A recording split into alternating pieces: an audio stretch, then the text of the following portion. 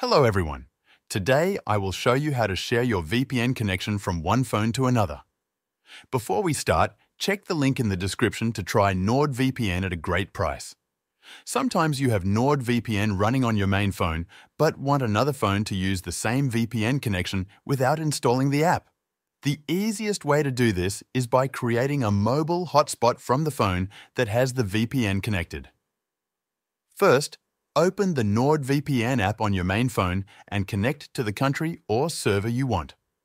Once the VPN is connected, go to your phone settings and turn on the Mobile Hotspot or Personal Hotspot feature. On Android, you will usually find it under Connections or Network and Internet. On iPhone, it is under Settings and Personal Hotspot.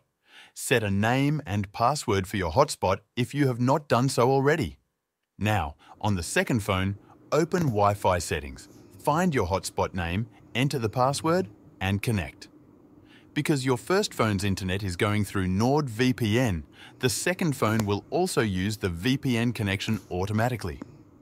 If your carrier or phone blocks hotspot sharing while the VPN is on, you can also share the VPN connection through USB tethering. Connect the second phone to the first with a cable, enable USB tethering on the first phone, and the VPN connection will be shared.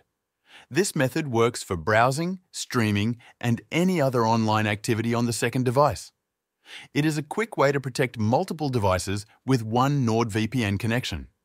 You can even share the connection with a tablet or other Wi-Fi enabled gadgets in the same way. That way, all your devices stay secure without having to set up each one separately. Once again, Check the link in the description to try NordVPN at a great price and keep all your devices secure, even when you are sharing the connection.